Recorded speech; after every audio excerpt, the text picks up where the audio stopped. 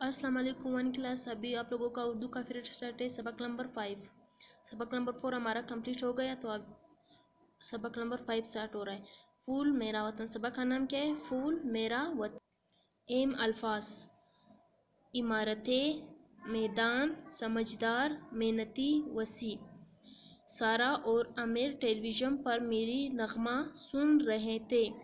Television की screen पर पाकिस्तान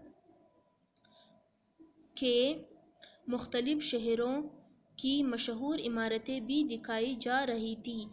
तो सारा और अमिल जो थे, वो क्या देख रहे थे? टेलीविज़न देख रहे थे। तो टेलीविज़न की स्क्रीन पर जो है क्या दिखाई दे रहे थे? मुख्तलिफ़ शहरों की मशहूर इमारतें दिखाई दे रहे थे। दोनों बच्चे खुशी से गुनगुनाने लगे। चाँद मेरी ज़मीन, फूल मेरा वतन, जैसे ही नगमा ख़त्म हुआ। आमिर ने अपनी बहन सारा से पूछा, आमिर, बाजी, वतन क्या होता है? सारा ने मुस्कुरा कर जवाब दिया, वतन मुल्क को कहते हैं और बताओ। तो तो भला हमारे प्यारे वतन का क्या नाम है? आमिर ने जल्दी से जवाब दिया, हमारे मुल्क का नाम पाकिस्तान है। सारा पाकिस्तान का मतलब है पाक जगह। हमारा वतन पाकिस्तान, कैद अज़म और उनके साथियों की कोशिशों की वजह से 14 अगस्त 1947 को बना। आमिर बाजी, मुझे कुछ अपने वतन के पेज नंबर 27 देखे। तो आमिर ने, आमिर, बाजी, मुझे वतन के, मुझे कुछ अपने वतन के बारे में बताए। सारा, हमारे मुल्क के चार सूबे हैं। पंजाब, सिंध, बलूचिस्तान और खैबर, पख्तूनख्वा, गिलगित, बल्तिस्तान और आज़ाद कश्मीर भी इसका हिस्सा है। यहाँ बसने वाले लोग मिलजुल कर रहते हैं। हमारे मुल्क के झंडे का रंग सब्ज और सफ़ेद है। आमिर, और इस पर चाँद तारा भी है। सारा, वाह भाई, आप तो बहुत समझदार है।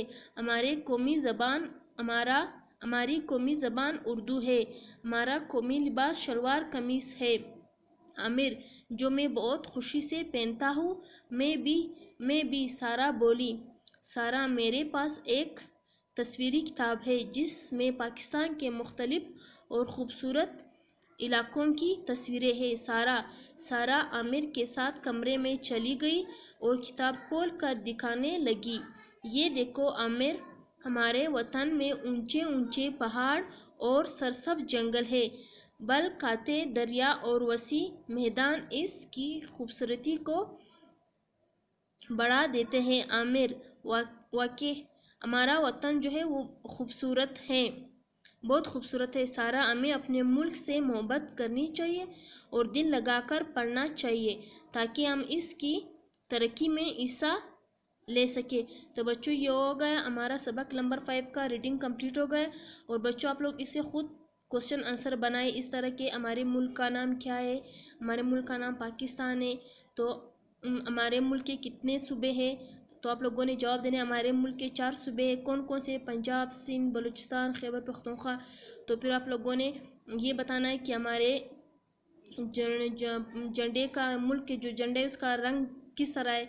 तो आप लोगों ने जवाब देना है, सफ़ेद और सब्ज़ और सफ़ेद है। हमारी कौमी ज़बान क्या है? हमारी कौमी ज़बान उर्दू है। हमारा शलवा, हमारा कौमी लिबास क्या है? तो आप लोगों ने जवाब देना है, हमारा कौमी लिबास, शलवार कमीज है। तो बच्चों, इस तरह आप लोग क्वेश्चन भी खुद याद करें और लिख के अपने नोट्स बुक पे तो आप लोगों ने बच्चों पाकिस्तान का नाम जो है वो किसने रखा? तो बच्चों पाकिस्तान का नाम जो है वो चौधरी रहमत अली ने रखा। तो यहाँ तक आप लोगों की रीडिंग हो गई। सही बच्चों, अल्लाह हाफिज़। कल इसका एक्सरसाइज स्टार्ट करेंगे। अल्लाह हाफिज़।